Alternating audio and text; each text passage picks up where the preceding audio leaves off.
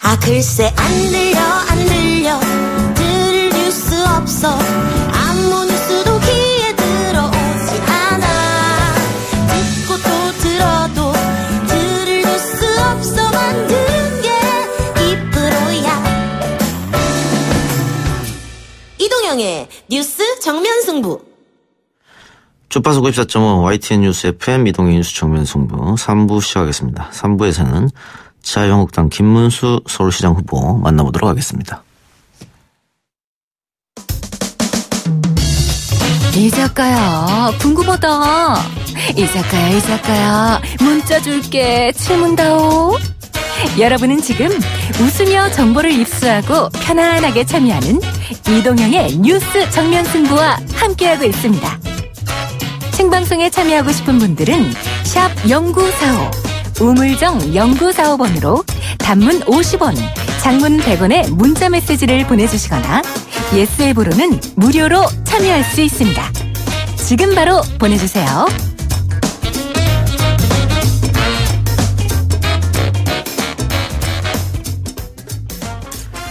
뉴스 정면 승부에서는 지난 4월부터 YTN 라디오 어, 지방선거 출마 후보자와 격전지 후보 인터뷰 진행하고 있습니다. 오늘은 삼선 의원 출신으로 재선의 경기도지사를 지낸 자유한국당 김문수 서울시장 만나보도록 하겠습니다. 서울시장 예비 후보죠. 예, 만나보도록 하겠습니다.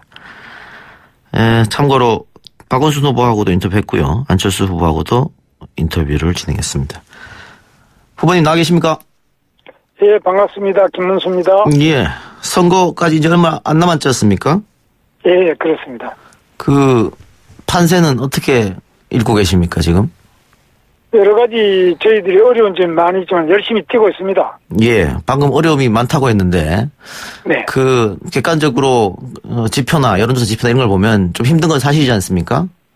예, 많이 힘든 상황입니다. 예, 그리고 시간도 얼마 안 남았잖아요. 네. 그 역전할 보관은 갖고 계십니까?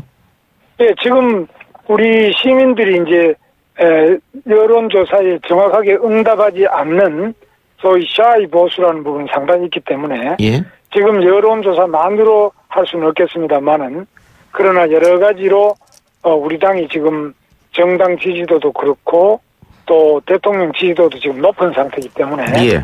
예, 저희들이 열심히 뛰고 있습니다. 그 사이 샤이 보수표 이야기 해 주셨는데요. 그 숨은 보수표 가운데서 안철수 후보를 찍는 사람도 있을 거 아닙니까? 뭐 그런 경우도 있을 수 있고 예. 또 박원순 시장을 지지할 사람 중에서도 할 수 있고 안철수 후보는 이제 중도표라고 볼 수 있겠습니다. 아, 보수는 그러면 김문수를 찍을 것이다. 뭐 다 찍는 건 아니지만 은 예. 대체로 저를 많이 찍겠죠. 네. 그 안철수 후보를 향해서 단일화 이야기 하셨죠? 뭐 단일화를 이제 기자분들이 자꾸 물으시면은. 뭐 꼭 안 한다 이렇게 닫아놓고 생각하지는 않습니다. 그러나 음. 할 수도 있지만 그러나 현재로서는 특별한 그런 조건이 나온 거는 아니겠습니다. 음. 근데 야권 단일 후보 가능성은 있다고 말씀하시는 거네요? 뭐 가능성이 없는 게 정치에서 있겠습니까만은. 아, 그렇죠. 그거. 그, 예.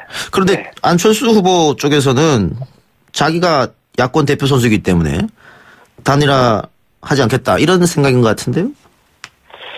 글쎄 뭐 그런 생각은 뭐 이제 그것도 또 하나 안철수 후보는 그렇게 생각할 수 있겠죠.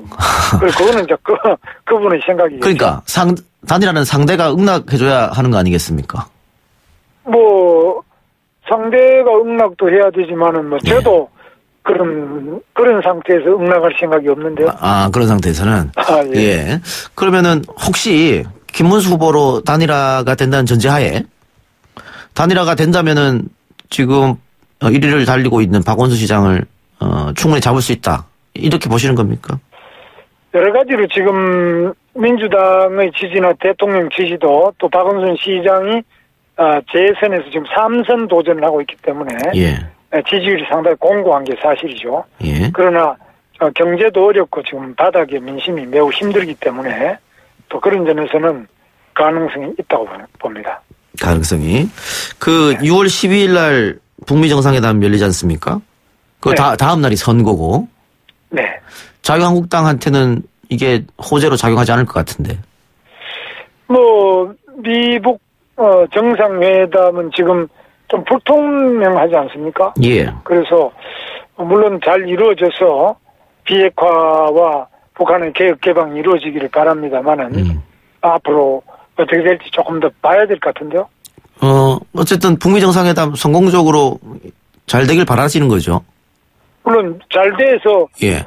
어떻게 하든지 간에 어, 비핵화가 이루어져야지 우리가 예. 사- 살아갈 수 아니겠습니까? 음.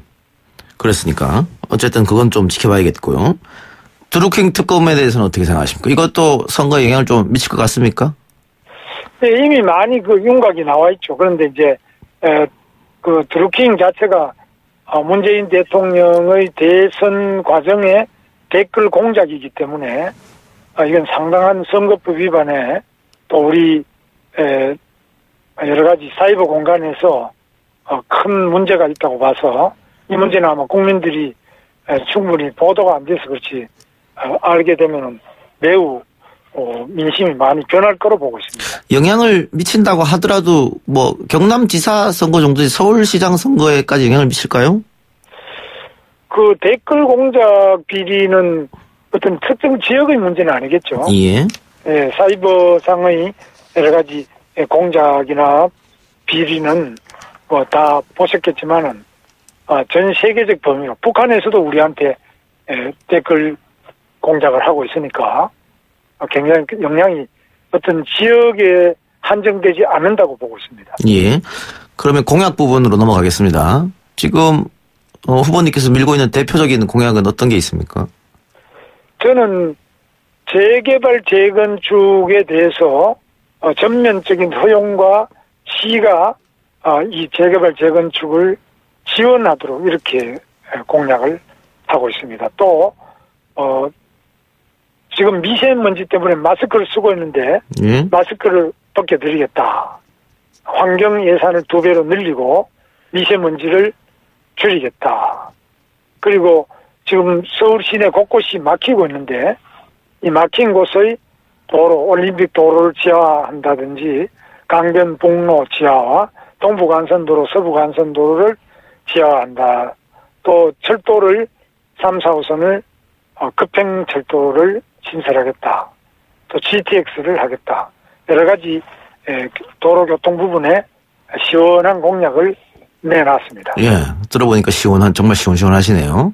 네. 그런데 이 미세먼지 관련해서는 어, 마스크를 그냥 벗게 해드리겠다. 이게 중요한 거, 방법론이 중요한 거 아니겠습니까? 어떤 방법으로 미세먼지를 줄일 예산을 생각이십니까? 두배 늘리고요. 예. 미세먼지는 주로 발생하는 것이 디젤차, 경유차, 노후 차량에서 나오는 예. 여러 가지 미세먼지가 제일 크고요. 이것을 경유차, 노후 차량은 전기차, 수소차 또는 어, CNG 차량으로 신속하게 교체를 하겠습니다. 두 번째, 겨울에 난방용 보일러 여기에서 빌딩에서 주택에서 나오는 것이 또 미세먼지 원인이 되는데 이것도 어, 컨덴싱 보일러로 바꿔서 어, 질소 산화물을 줄여나가는 쪽으로 하고요. 또 미세먼지 측정 자체가 지금 정확하게 안 되고 있는데 예. 에, 미세먼지 측정망을 지금보다 다섯 배 정도 늘리고 특히 지하 공간, 지하 공간의 미세먼지를 어, 측정을 정확하게 하고 또 여러 가지 에, 청소, 물 청소를 많이 해야 됩니다. 그래서 어, 물로 습식으로 이 미세먼지를 가, 가능한 대로 많이 잡고 또 미세먼지에 효과가 있는 그런 나무를 많이 심고 또 어, 빌딩도 그린 빌딩, 그린 파크 이런 것들을 많이 만들 계획입니다. 뭐 국내 요인은 뭐 그런 부분으로 해결한다 치고요. 그 중국 요인은 어떻게 하실 생각입니까? 중국 요인은 이제 기상이 어떠냐 또는 중국의 어디에서 미세먼지가 발생해서 우리나라까지 어느 바람의 방향에서 날아오는지 이런 것들 과학적으로 어, 저희들이 협력해서 잡겠습니다. 그런데 박원순 시장은 중국 북경 시장하고 협약을 맺어서 하는 것이 에, 삼겹살 미세먼지를 줄이는 연구 뭐 이런 걸 하고 있는데 이건 상당히 코미디인데 이런 짓은 안 하겠습니다. 효과적인 과학적인 방법을 하겠습니다. 그래요. 그 아까 또 부동산 공약 얘기하셨잖아요. 재건축, 재개발 규제 철폐하겠다. 네. 네. 이렇게 되면 부동산 값이 뛰는 거 아니에요? 부동산 값은 내립니다. 왜냐하면 오, 오히려 내린다. 예. 아 물론요. 예. 공급을 재개발 재건축을 하면 그 공급이 늘어납니다. 예. 예를 들면은 3층짜리 5층짜리가 30층 50층으로 올라가면 당연히 그 방 숫자가 늘어날 거 아닙니까 집이 늘어나기 때문에 공급이 늘어나면은 당연히 가격이 떨어집니다. 그 지금 부동산을 억제하는 노무현 대통령 때부터의 그 정책은 다 실패해서 오히려 강남 부동산을 묶으면 묶을수록 강남만 뛰어 올라가는 그런 것을 우리가 다 경험을 했습니다. 이미 결판이 났습니다. 그래서 오히려 규제를 풀겠다. 그런데 말이죠. 지금 재건축 재개발 규제 철폐하고 아까 얘기했던 뭐 강변북로 올림픽대로 다 지하 이거 이런 것들 하게 하게 되면 다 뭐 건설회사나 토목회사만 배가 불러지는 거 아니야 이런 비판도 있을 것 같은데요. 건설회사, 토목회사도 배가 불러야 되죠. 예. 대한민국의. 기업이 어. 배가 불러야지. 어, 기업을 배를 고프게 만들겠다는 것 네. 자체가 바로 그거는 어, 우리나라를 어렵게 하고 경제를 어렵게 하는 길이라고 생각합니다. 아니 서울 시민도 배가 불러야 될 거 아닙니까? 아, 당연히요. 예. 재개발 재건축을 하면은 그 주민이 원해서 하는 거거든요. 예. 건설회사가 원해서 하는 게 아니고 예.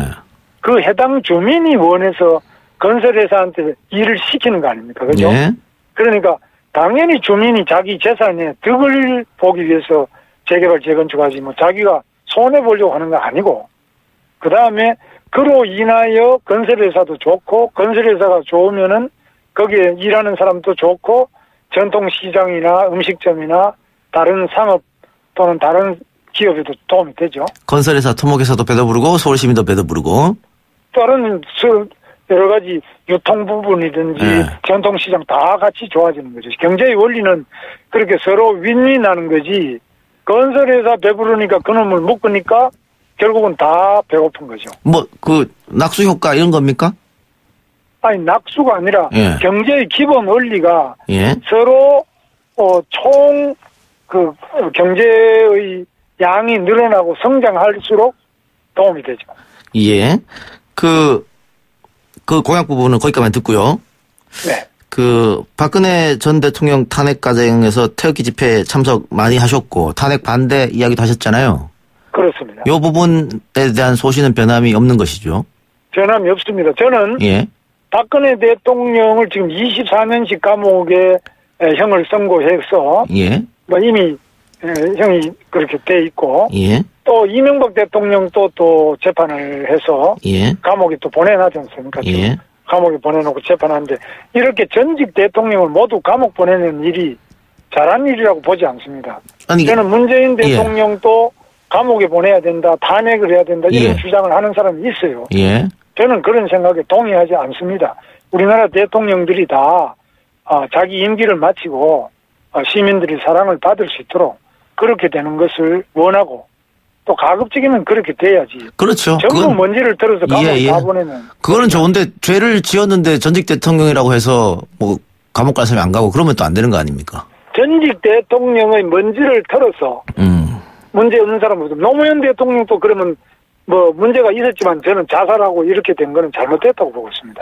그 일반 유권자들하고 민심하고 조금 괴리가 있는 거 아닙니까? 그런데 그런 생각하시면 일반 유권자가 뭐 그렇게 생각하는 분들이 많지는 않을 겁니다. 예. 전직 대통령은 모두 감옥에 가거나 자살하거나 총을 맞아서 돌아가시거나 이런 걸 원하지 않을 겁니다. 우리 국민들이.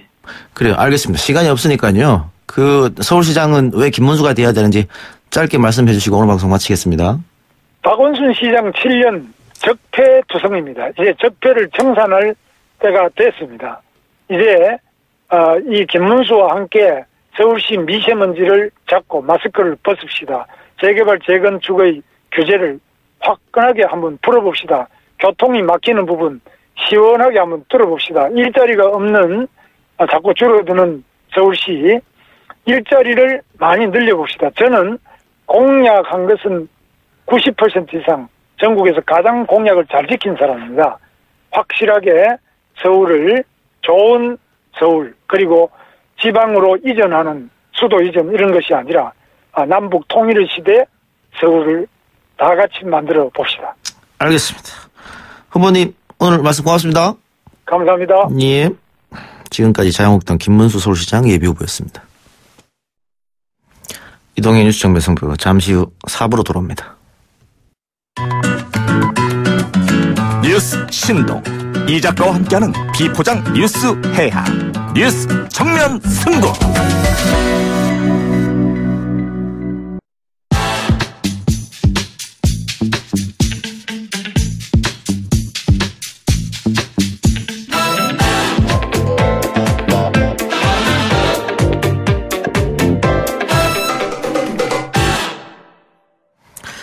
네, 매주 수요일 이 시간은 청래당 코너가 있었죠. 근데 정청래 전 의원이 당에서 중앙유세단장을 맡은 관계로 잠시 쉬겠습니다. 오늘부터는 센 누나 두 분과 함께합니다. 희자매가 꿈꾸는 즐거운 정치 이름하여 희희낙락 토크 더불어민주당 디지털 소통위원장 최민희 전 의원 나오셨습니다. 어서 오세요. 안녕하세요. 예, 바른미래당 전 서울시당 위원장 진수희 전 장관 나왔습니다. 어서 오십시오. 네, 안녕하세요. 반갑습니다. 네, 두 분과 함께해서 기쁘네요.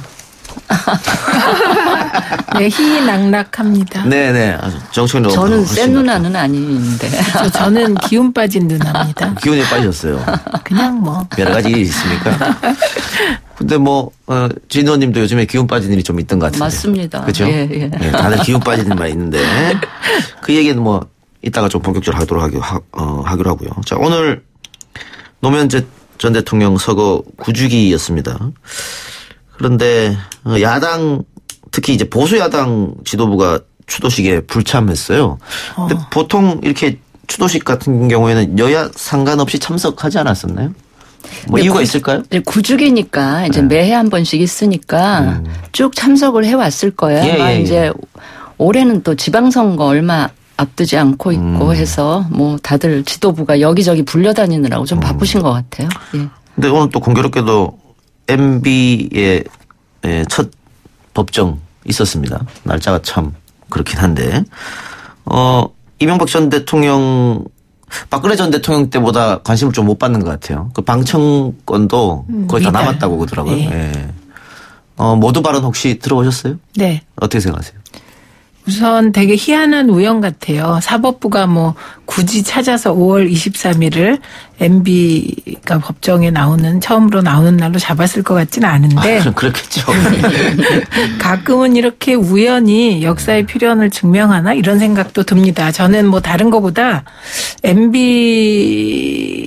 법정 발언에서 제일 이상했던 게 무죄를 주장하면서 검찰 증거에 동의했다는 예. 겁니다.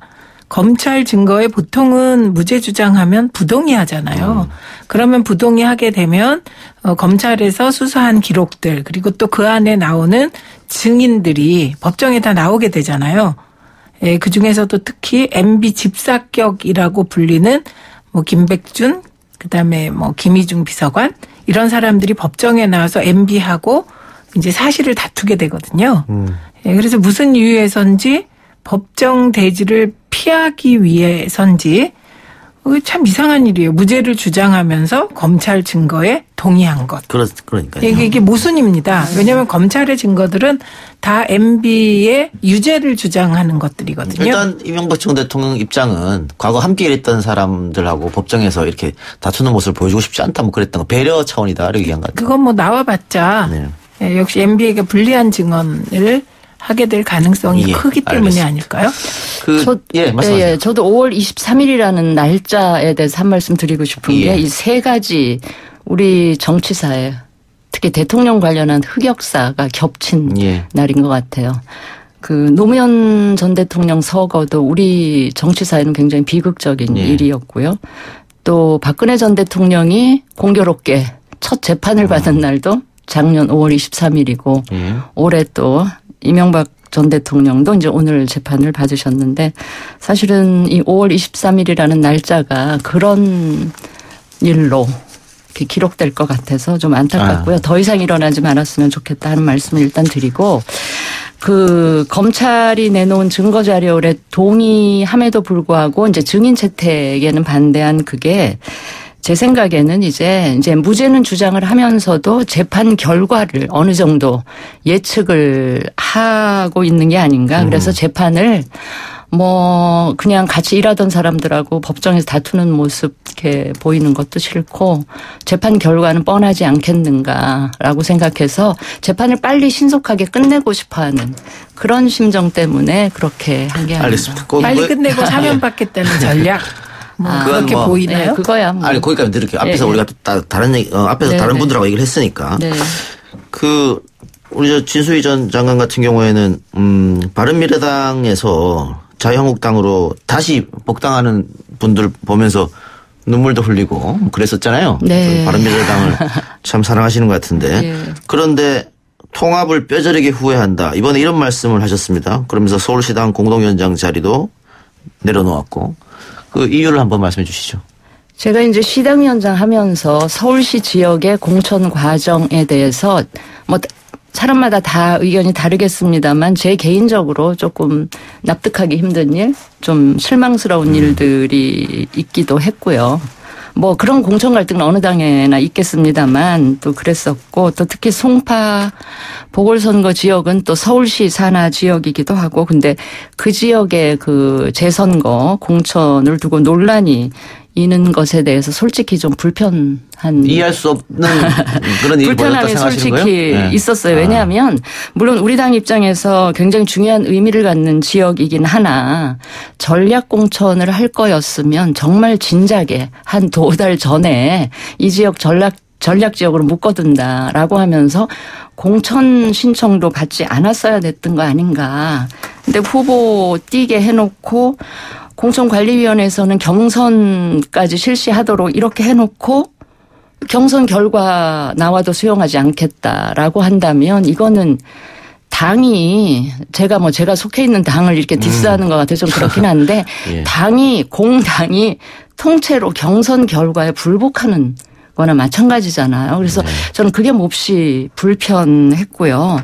저는 당이 선거를 위해서 최선을 하지 최선을 다해서 이기려고 노력은 하지만 또 지더라도 잘 지는 것도 굉장히 중요하다고 생각을 하기 때문에 저는 이거는 좀 아니지 않는가. 과연 이런 논란을 벌이는 게 우리가 우리 당이 사활을 걸고 있는 이 서울시장 선거에 무슨 도움이 되겠는가 하는 좀 그런 생각이 들어서 좀 힘이 빠졌고 시당위원장도 내려놔야 되겠다 이런 결심을 했던 거죠. 그 시당위원장 내려놓고 혹시 어, 안철수 후보하고 통화를 하거나 뭐 아, 워낙 바쁘시니까 후보가. 근데 좀 이상하긴 이상하죠. 예. 왜냐하면 그 후보들이 이제 경선을 진행해서 경선을 했어요. 예. 그래갖고 박종진 예비 후보가 압도적으로 이기었다는 예. 거잖아요. 그래서 경선을 통해서 절차를 밟아서 후보가 결정됐는데 전략 공천을 또 하겠다 음. 이런 경우는 그 예비 후보가 그 전략 공천 후보를 전적으로 동의할 때, 음. 예, 그럴 때 하는 겁니다. 근데 지금 사실상 그 박종진 후보가 뭐 나름 입장도 발표하고 이런 걸로 보면 그 이제 후보로 뛸수 있는 거잖아요. 그리고 전략공천의 정작 그 주인공은 언론을 통해서 어 나는 나가지 않겠다 이런 예. 얘기를 공개적으로 밝혔습니다. 음. 그런데 이상하게 그 바른 미래당의 안철수 후보하고 박주선 대표가 아 우리가 통화했을 때 또 뭐 속마음은 다르지 않겠냐.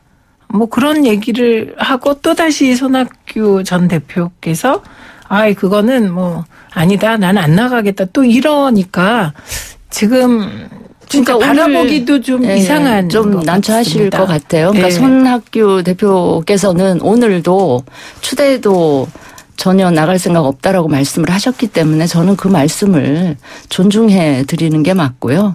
여러 지역 선거 지원하도록 역할을 드리는 게 맞지 어느 지역에 이렇게 묶어두고 고생 그런 식의 고생은 안 시켜드리는 게 예의상 맞다 이렇게 생각을 하고요. 흔히 그거를 지금 자꾸 언론에서는 안철수 유승민 간의 싸움 예. 갈등 그 구도로 이렇게 프레임을 짜고 있는데 저는 그 노원에서도 그랬고 이 송파 선거도 이게 안철수 유승민 갈등이 아니고요. 저는 원칙과 말하자면 변칙 예. 변칙이라 그래서 제가 불법적이다라는 건 아니고 네. 전략 공천이나 정치적인 고려를 한다는 거는 경쟁자들이 많이 나와 있는데 경선하는 게 민주주의의 원칙이라고 본다면 이건 약간 변칙적인 거거든요. 근데 이 전략 공천이라는 이름으로 굉장히 그 불합리한 일들이 이제까지 많았어, 많았잖아요. 대표적인 게 2016년에 박근혜 대통령이 청와대에 앉아서 당시 새누리당 공천을 좌지우지하면서 전략 공천이라는 이름으로 진박을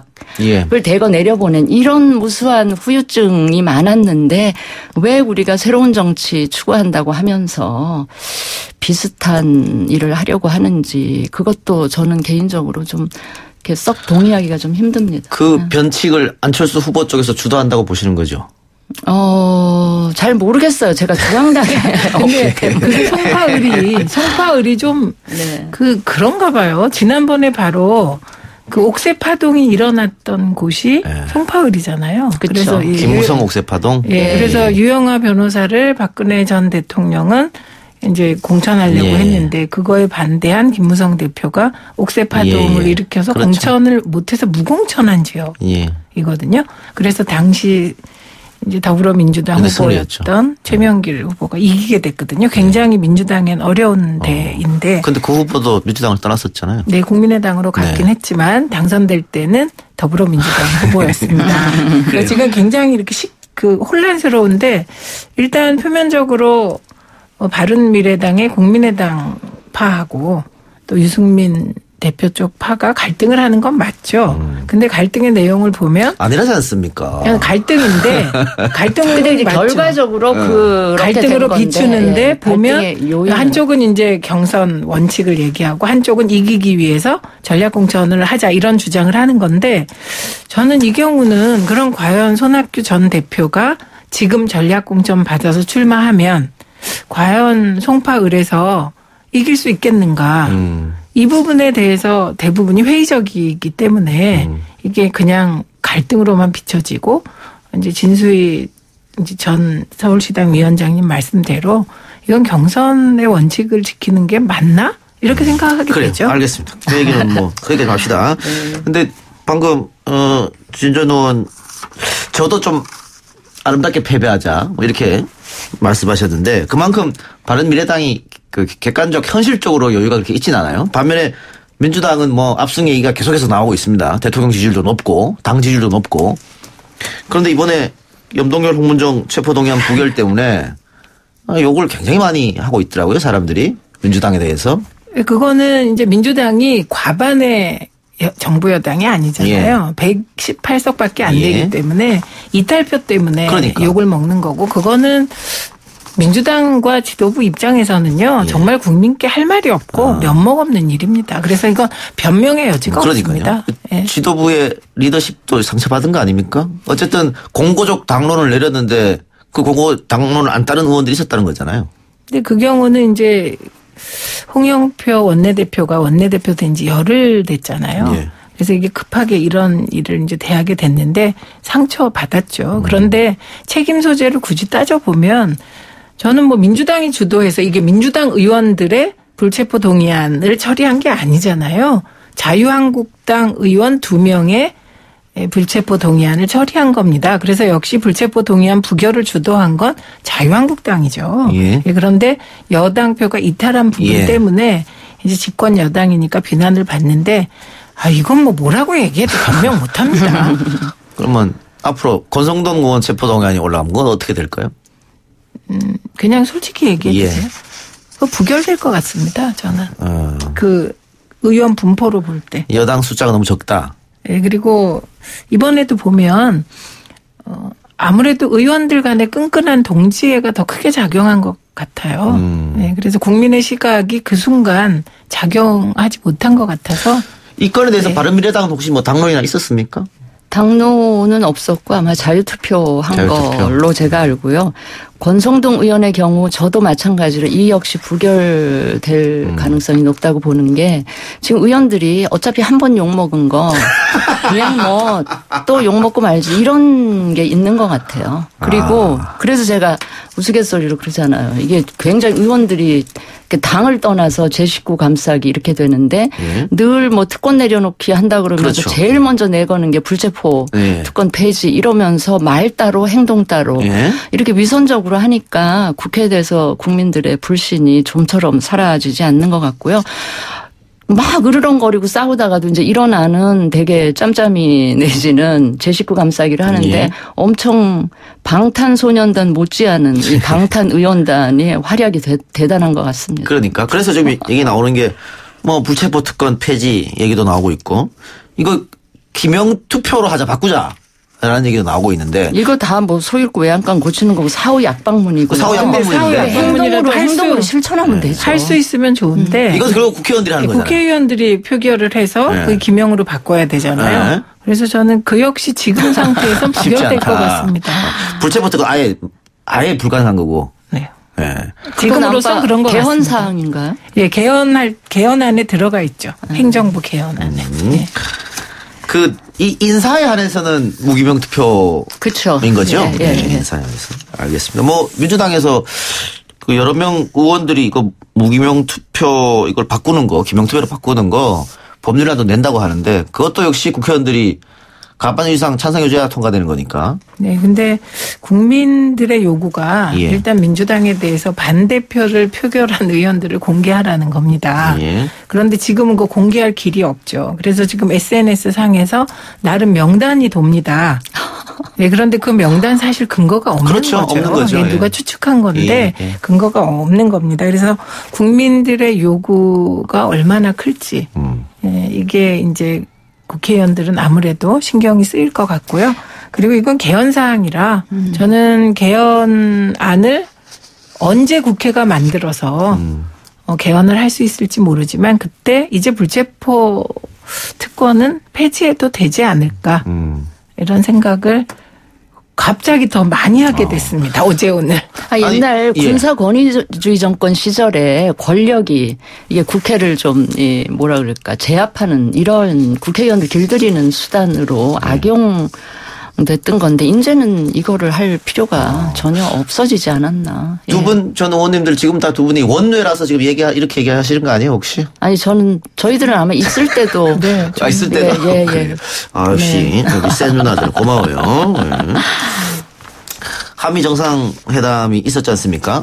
문재인 대통령은 만족스럽다는 뉘앙스 이야기를 한 것 같은데, 뭐, 트럼프 대통령의 여건이 충족되지 않으면 북미 회담이 열리지 않을 수도 있다. 이 말 때문에 조금 시끄럽기도 해요. 평가 어떻게 하십니까? 한미 정상회담에 대해서. 네, 일단 한미 정상이 서로 굉장한 칭찬을 하는 장면이 예. 나왔습니다. 이 얘기는 그 여건이 충족되지 않으면 회담이 열리지 않을 수도 있다. 예, 요 말을 뒤엎을 만한 내용이었습니다. 음, 아니다? 그 내용이 그리고 트럼프 대통령의 말은 여건이 상당히 충족되었는데 좀 더 여건을 충족시키자 뭐 그런 의미가 맞을 것 같고요.